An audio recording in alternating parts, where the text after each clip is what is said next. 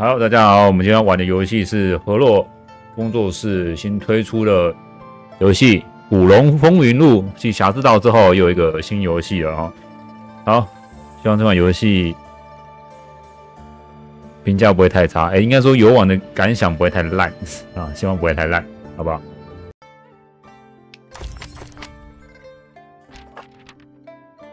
我们看一下哈，我们这个是什么意思？真正的快乐是你正向上奋斗的时候，你只要经过这种快乐就没有白活哦。难易度是不是？哦，很明显是难易度。身经百战，一个人要做到大侠两个字的确不容易哦。他不但要做到别人所不能做的事，还要忍别人所不能忍。但无论如何，那也是值得，值得的，是吗？无惧强敌，有人不惜求败，因为他觉得只要能遇到一个真正的对手，纵然败了也是愉快。好，那我选中间的好不好？哎，还有欢乐英雄，无乐不欢。别说英雄寂寞，我们的英雄就是欢乐的。那我还是玩初出茅庐，对不对？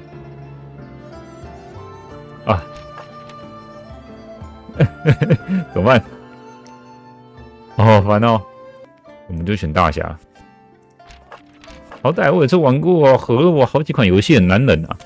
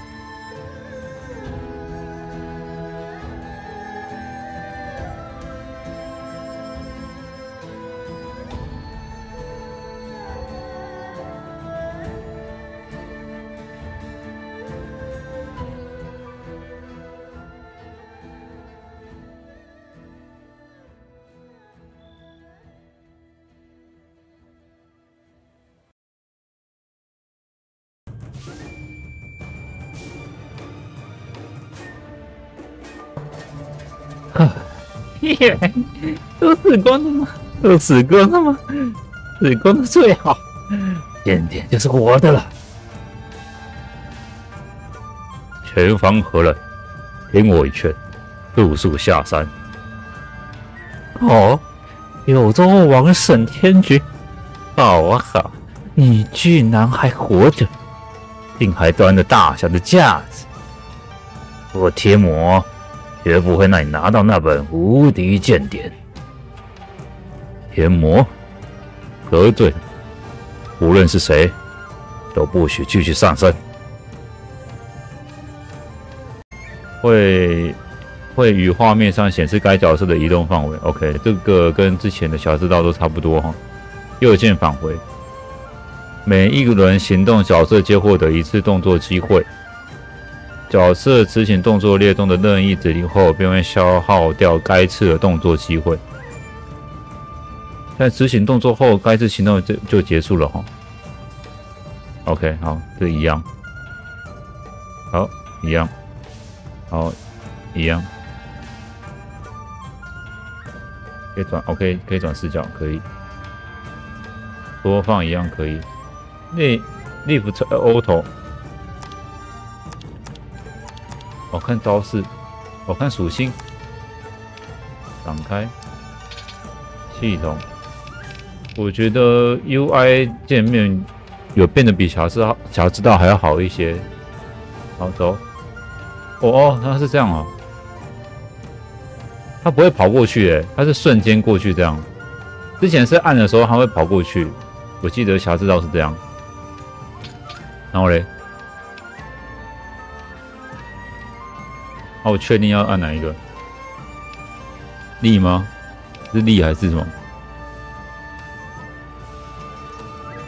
哎，什么意思？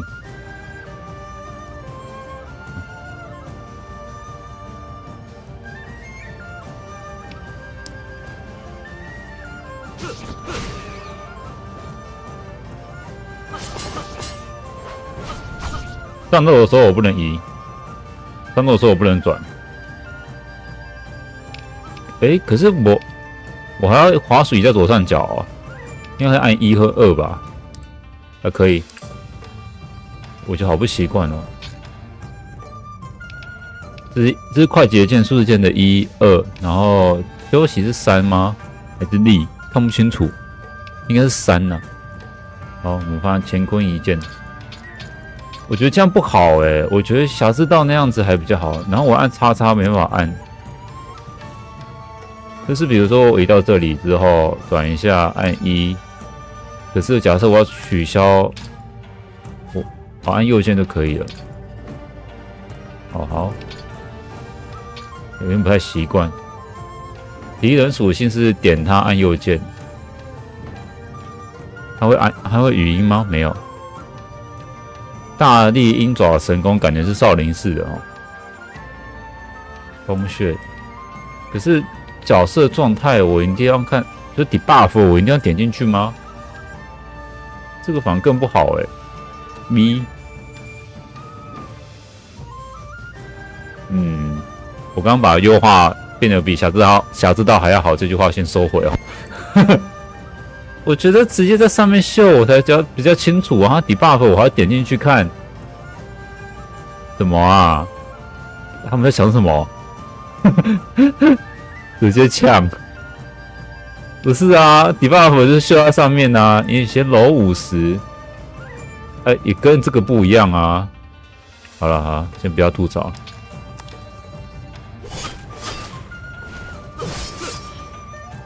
这招好像在哪里看过。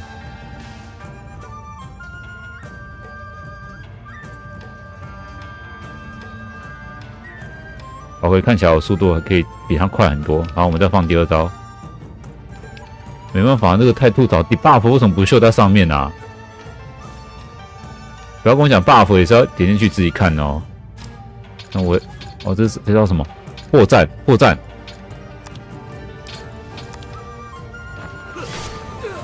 哦，这刀火帅，赢了，你败了，不许添乱，立刻下山。嘿嘿。叫你一声九州王，你就真以为自己是大侠了？你早就上当了！大家一起上，把这大侠也杀了！你可知那自命为剑神的中州剑客，他上了风，便在吃饭时给咱们暗算。哼，那剑神趁万圣刀徐老镖头睡觉时，偷偷割去他的头颅，这可帮了咱大忙。大而渣还敢吃饭睡觉的，一个个全都死了。沈天君，你能撑到现在也是不简单呐！连衡山派掌门人都在五日未饮未食之后发疯，到了他的平生知己自己跳崖自尽。人水公主、水母阴姬、女魔头石观音、黑虎堂主、飞天玉虎，你可曾喂过他们？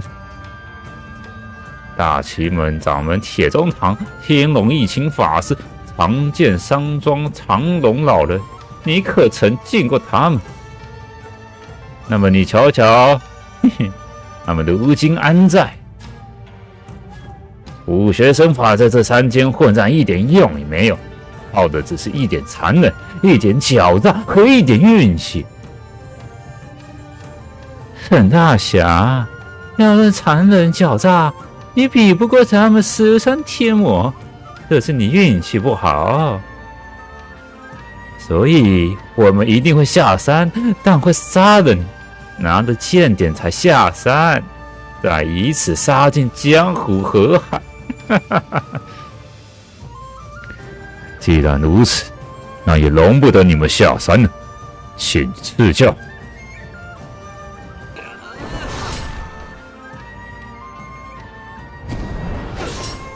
我应该很强吧？我沈天君是古龙风云录的角色吗？你古龙我没有全部看。好，暗器。我觉得他的招式的显示太小了，然后。反而是胜利条件这边很明显，但是人物资讯这边都太太过小了。我知道他应该是要把那个画面呈现出来多一点，但是操作方式，如果看资讯的话，我会觉得很麻烦。哎，我要多一招，五营外史的背景人物哦，可是他算强吗？因为我只，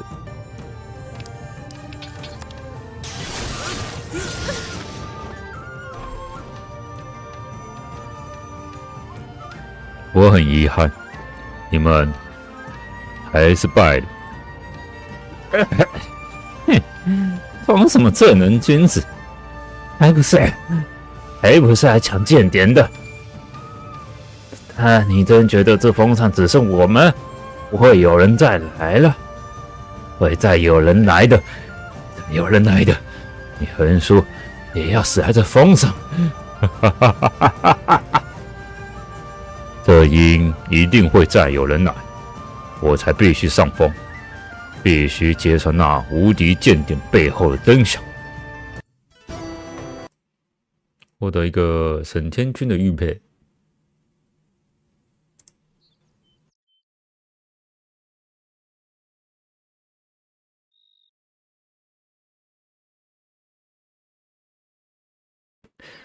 然而，这场火焰峰事件已是十年前的事。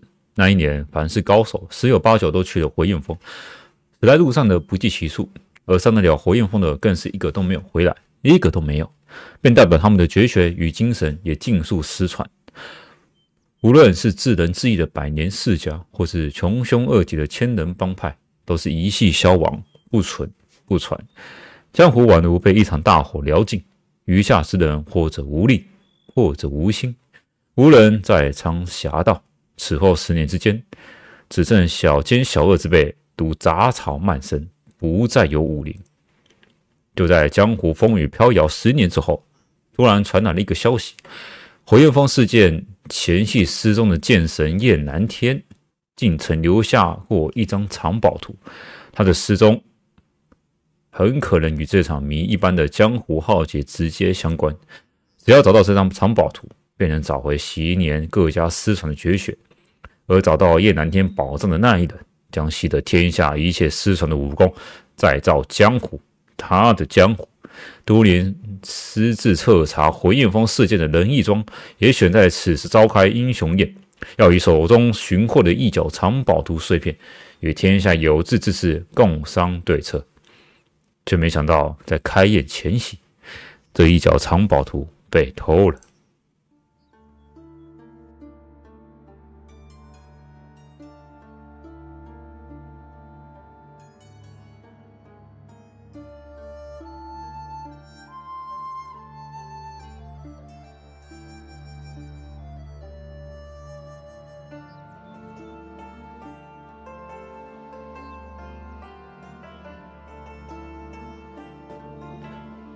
恶人谷。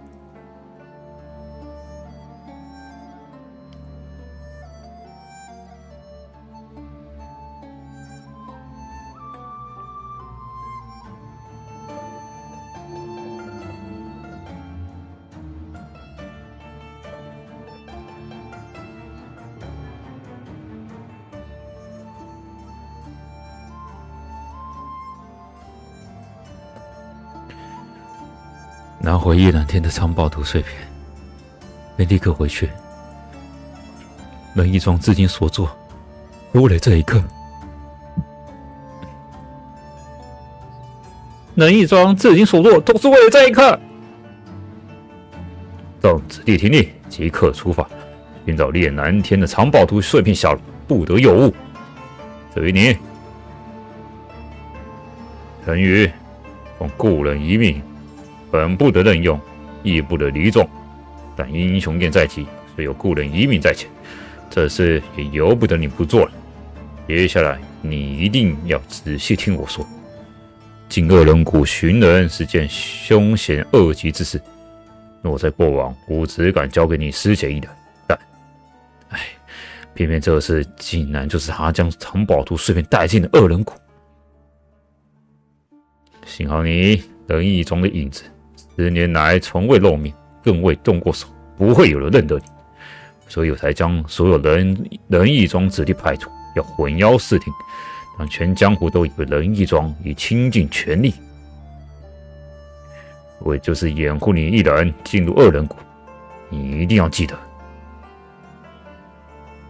保持低调，少知事端，找到师姐，拿回藏宝图碎片，便立刻回来。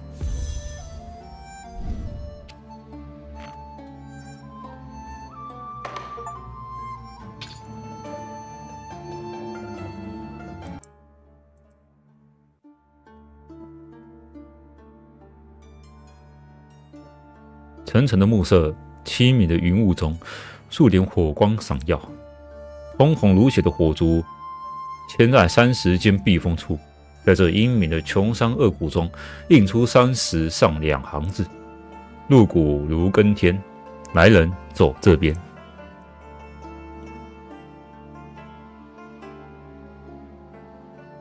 两行字下有支箭头，指着条曲折蜿蜒的山路。通向四山合抱的山谷，恶人谷由此去，我必须进入恶人谷，找到师姐。啊，通常游戏这种对话都是自言自语的，听起来都都有点智障智障的。这边应该没有什么道具之类的。哇，这个箭头也太明显了吧？感觉会有什么道具之类的。哎。有只有两只猴子，怎么讲话？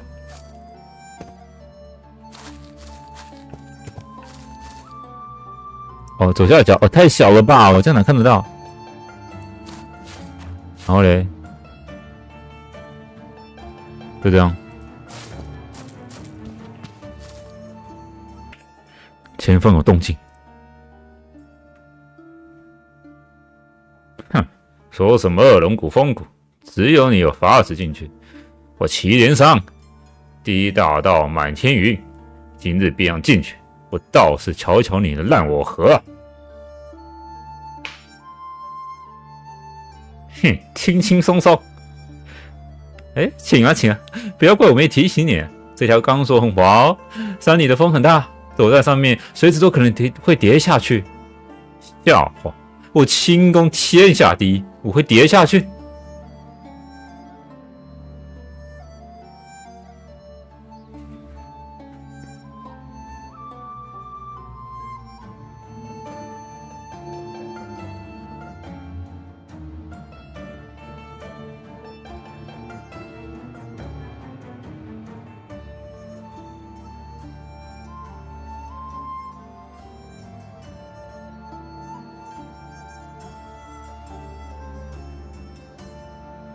我也不是老早就提醒过你的吗？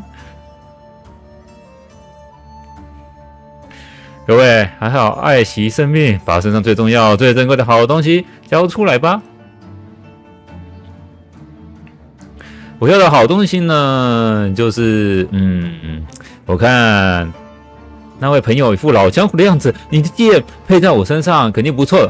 那我拿那把剑，心情好了，说不准会愿意带你入二人谷。你说的是我诸葛雷的剑啊？原来是猪大哥啊，果然笨得像猪啊！我都说我要那把剑，你怎么还会说那是你的剑？放肆！我诸葛大哥乃是金狮标血大镖头，披风剑诸葛雷，当年太行。太行四虎怀动我们堡的红货，还在耀武扬威的时候，我大哥的剑就已经刺穿他们的喉咙。不是俺赵老二吹牛，论论掌力之雄厚，自然得属咱们的总镖头金狮子李迪。金狮子李迪，哦，也是绝代双骄的嘛，对不对？这个好像是哦。那论剑法之快，当今天下只怕再也没有人比得上咱们大哥。你既敢。觊觎他的佩剑，太行四虎。不过杀了四只老虎就被称为疾风剑。我杀过老虎是你的好几倍，都不称我为超级风剑，这岂会太不公平了？你你胡说八道些什么？我看你这小子分明是欠揍。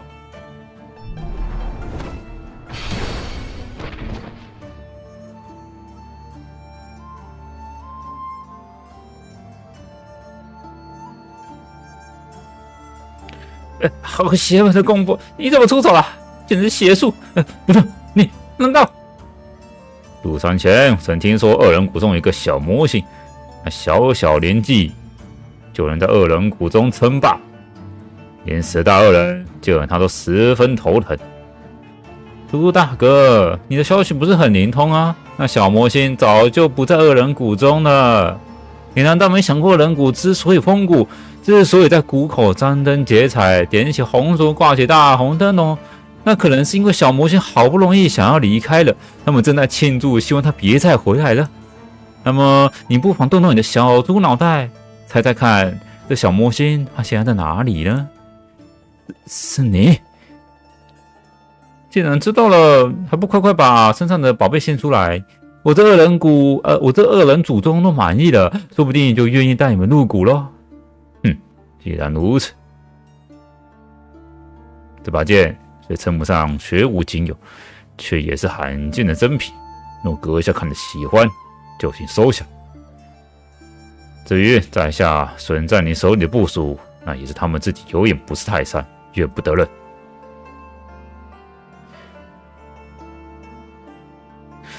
哼，有趣，简直有趣极了！你这人这么有趣。定会在江湖中长长久久、久久长长地活下去。但现在看起来，这疾风剑这一块也比不过你这对疾风膝盖，有好事没什么了不起的。这这，哎，无聊无聊，我不感兴趣了，我不想要了。拿开你的破剑，还不快滚！你们也一样，还看什么看？你们不会真信的入股入股永不为奴这番傻话吧？那这个人骨是自家厅堂了，告诉你们吧，人家二人骨当做自家厅堂，自有出路的。就只有生在二人谷，长在二人谷，如今连十大恶人都怕得不得了的万蛇之圣、万剑之尊、万王之王，打遍三山五岳南七北六十三省无敌手，惊天动地玉王子，也就是我一个人而已。还想入股的，乖乖把好东西孝敬给你，主动我，我蓝宝心情一好，一脚踹你下山谷。反悔的，趁我这恶人老祖宗还没想好怎么害你们，还不快快滚呢？啊，累死我了！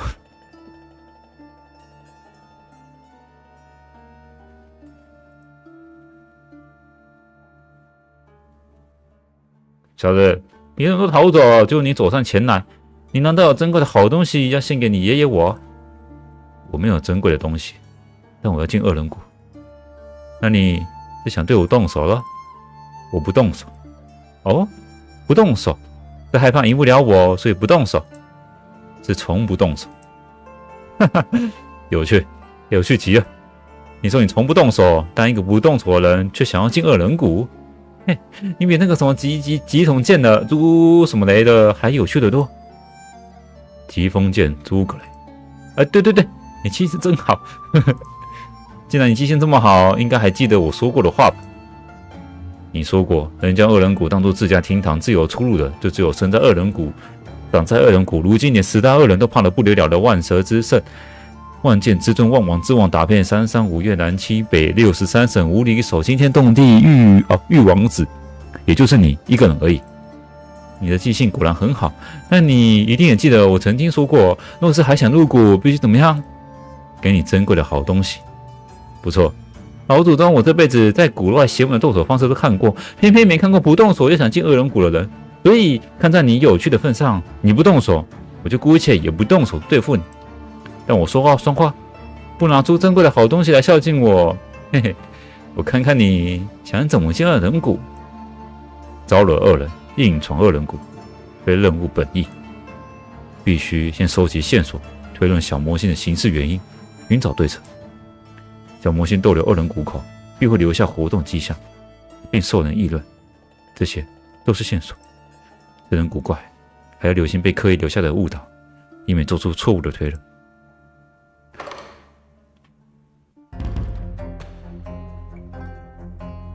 啊，又有推理了。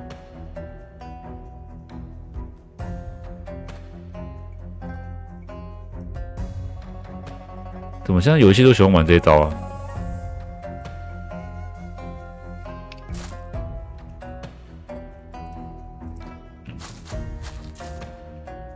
听叶子，赵老二被击倒的位置。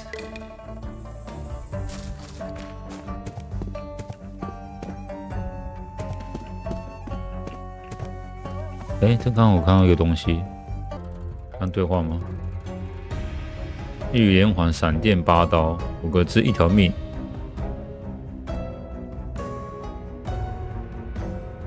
不红雪，是被西门吹雪追着跑。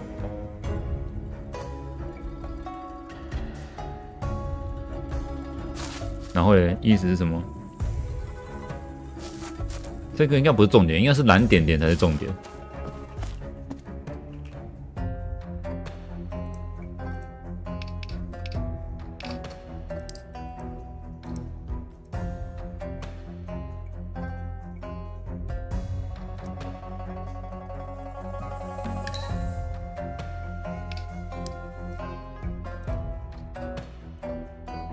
呃，之前呃这边的我就不配了。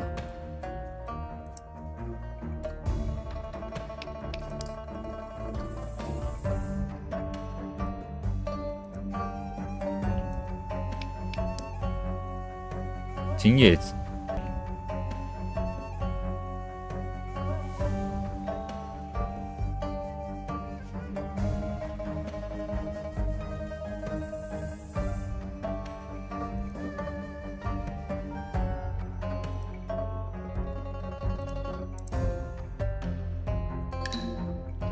听起来不是老鹰让它掉下去的。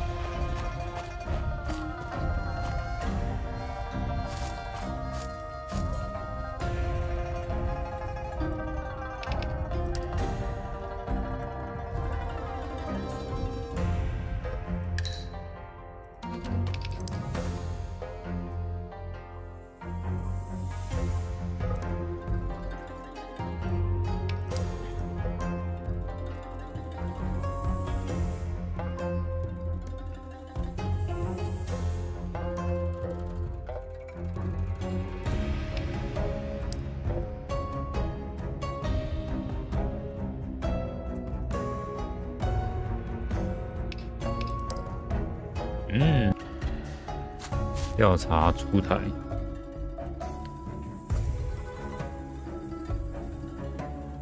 二人谷因他离开而封谷，却谷口张灯结彩，点起红烛，挂起大红灯笼，水气重，烛台锈迹斑斑。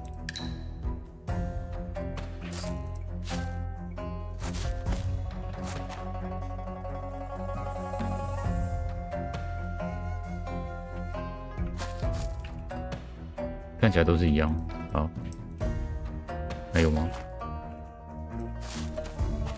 哦，好像是这样了。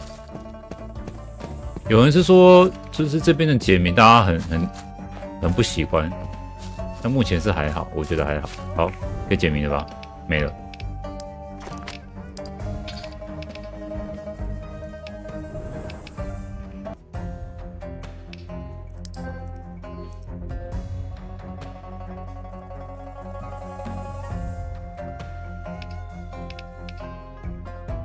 我，刚刚要想要。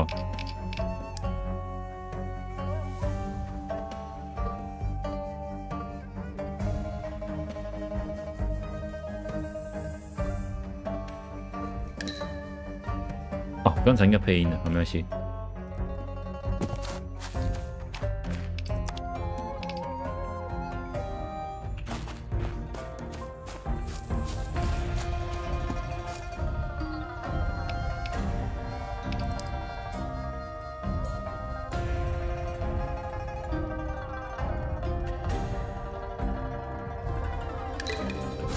灵狐的右手，好了，应该都凑齐了吧？好，也就是说，赵老二的右手已断，但是这个金叶子的部分啊，它却有反应哈。但是应该是说，应该是这个了，这个跟这个。赵老二的金叶子是小魔星给的，是这样吗？推论是这样吗？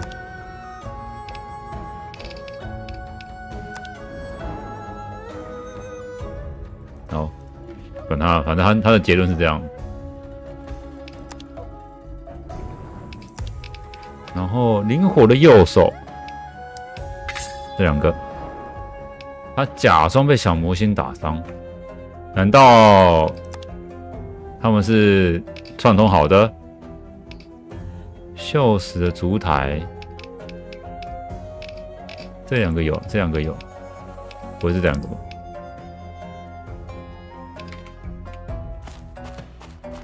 还有一个，这个还没看到。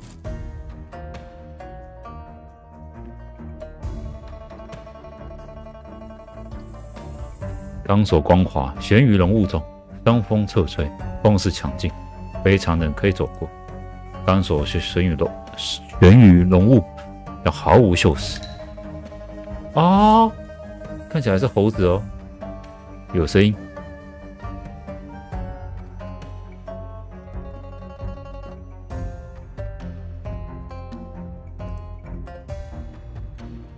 钢索底下聚集了猴群，猴群本四散三道，却突然全聚钢索下方不远处。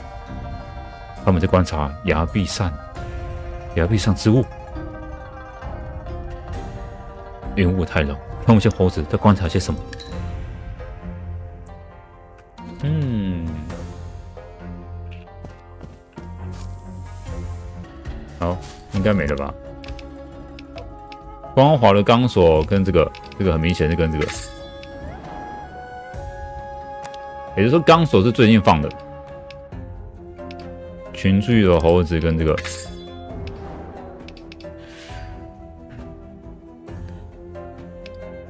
假装被袭击，选股多于钢索物，我觉得是作假哎。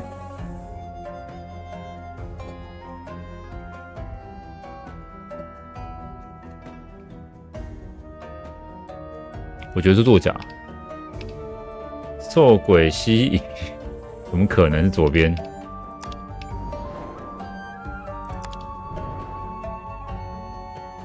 小魔星用心布置钢索，爸爸买通赵老二跟满天云吗？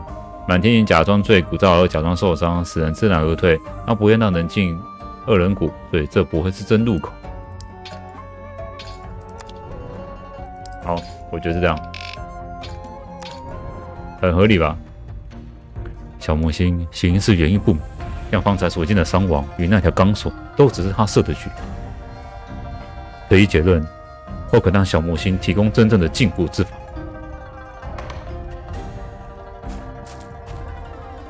如何？我有你的把柄。把柄？哈？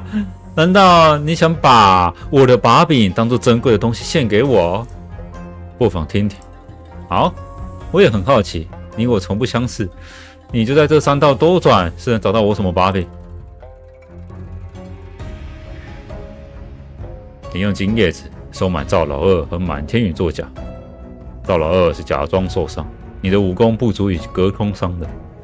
满天宇是假装坠谷，他悬在猴子围观的崖壁下，而这条钢索在雾中的锈蚀程度太低，代表他才被你挂上不久，并不是通往恶人谷。哼，得了吧，知道你看穿了，但又那又怎样？喂，赵老二，满天宇，你们两个反正演的不太好，现在没别人了，都过来吧。嘿嘿，啊，老大，看经验值的份上，你还有没有别的吩咐啊？哎，你别喊我老大，也不想想上一个被你喊老大的是什么货色？哎，那不同，金丝诸葛雷年轻时或许还是一号人物啊，如今是真的不行啊。前两天走上镖探镖啊，就是为了陪他画当年勇。先不说黄货丢在关外了，命都差点赔上。而不是那货给他拱手送人，还惹上小李飞刀那样的要命的家伙。我一个多年烫子手，没功劳有苦劳，再撑个两年便该回家含饴弄孙，哪是沦落来你二人谷？嘿，人说不倒猢狲散，瞧你拿别人的钱。拯救死的主子可是毫不结巴说了，像我就不一样，我拿钱办人，本就是最擅长的事，可从不欠任何人。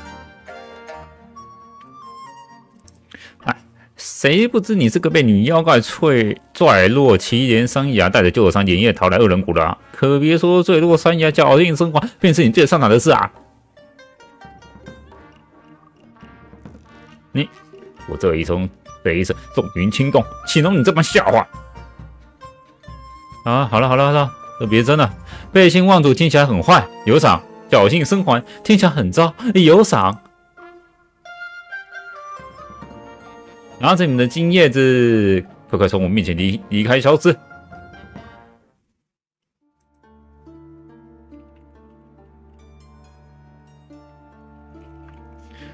哈哈，想不到这也能被你发现。那你猜我为何要这么做？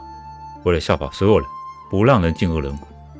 哈哈，聪明聪明，你真聪明，你绝对是天下第一个聪明人。但你知道谁是天下第一个聪明人吗？难道是你？只能是我，所以你也不妨听听我的推论。你不动手，那岂非没法干坏事？这可不像是个恶人，但你却来了恶人谷，所以我原本以为你一定有别种武器，像是你说的把柄。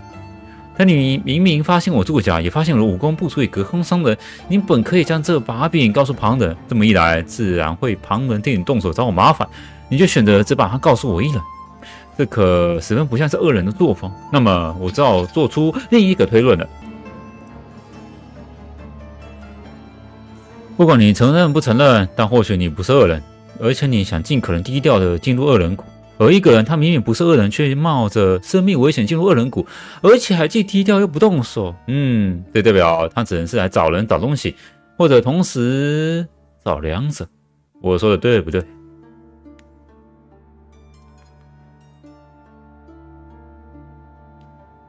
你不说出入谷的路，这个把柄便会成为武器。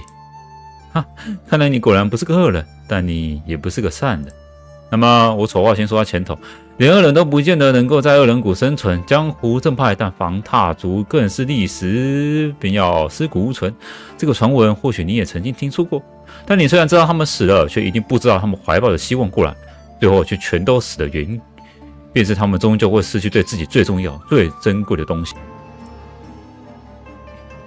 在顶尖的高手失去最重要、最珍贵的东西之后，也就真正死了。所以我才决定在你们入谷以前，就直接先取走你们最珍贵的东西，省得浪费。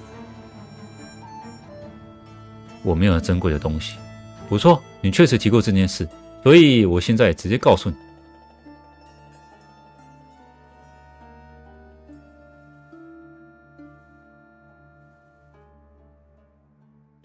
恶人谷的入口就在那块刻着字的巨石之下指引方向的路牌之后。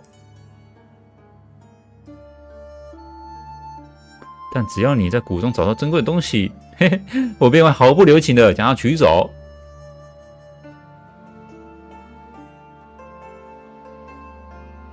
恶人谷入口就在这里。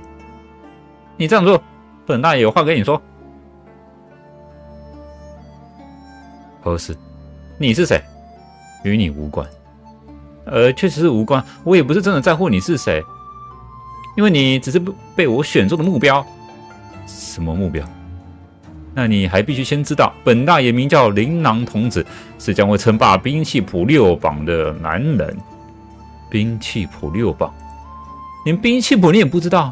白小生五年点评一次兵器谱，分为搏击榜、剑兵榜、刀兵榜、长兵榜、双刃榜、飞子榜。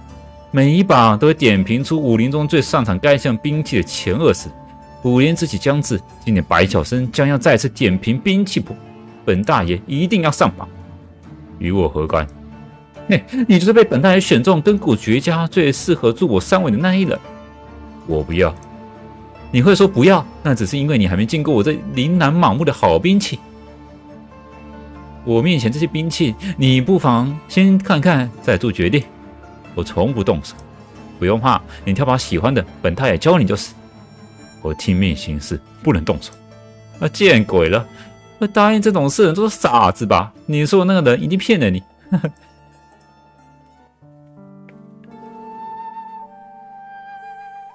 在我有生之年，我会查清此事，还江湖太平。等我回来，我当然会回来。傻了。我不会负你，或许，嘿，你果然是真被骗了。但你虽然发现的太晚，想挑把兵器开始还却不太迟。我不挑，你是不是真的傻啦？你这样还想进二人谷？我正是要进二人谷，所以不能拿你的兵器。兵器谱你一选，日线将至，你找谁帮忙都好过从不动手的我。除非你只是想杀了拿着兵器的我。嘿，你面色发白，双眼空洞，脚步虚浮，像条十几年没晒过太阳的影子一样。而本大爷武功还真不怎么样，所以难得遇到像你这么软的柿子，不挑你挑谁？确实如此，所以我不动手。而且，你甚至还答应一个这么愚蠢至极的事，不动手。我不知道那人是为你好，还是害了你，才不让你动手。我只知道那人不管是爱你，或是恨你。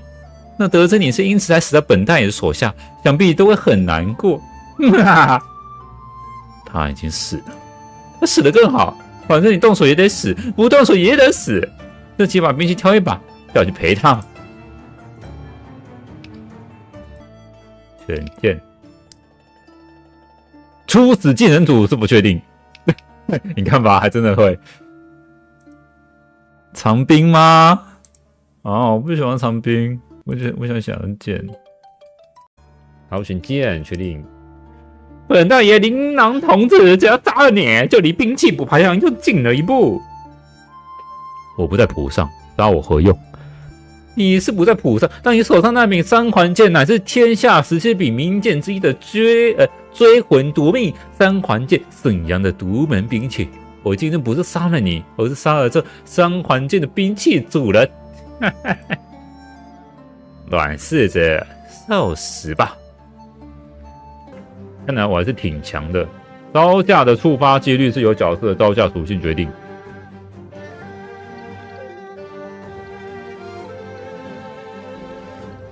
反击是不会消耗时序。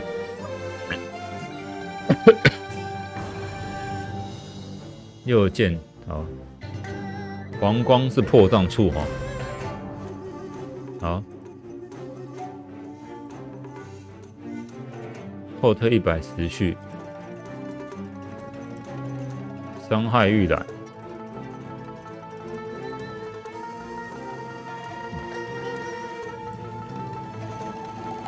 所以它的破绽就是黄色这边吗？回剑跟什么定剑？定剑这名字真是没创意。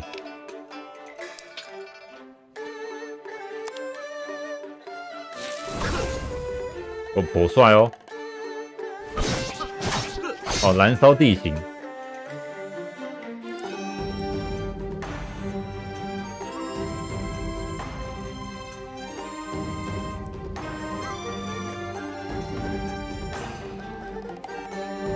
什么？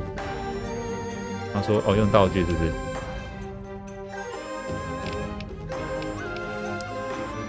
解毒。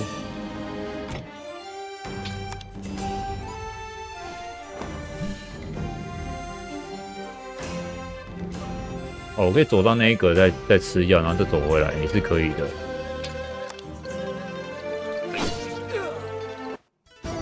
这么简单？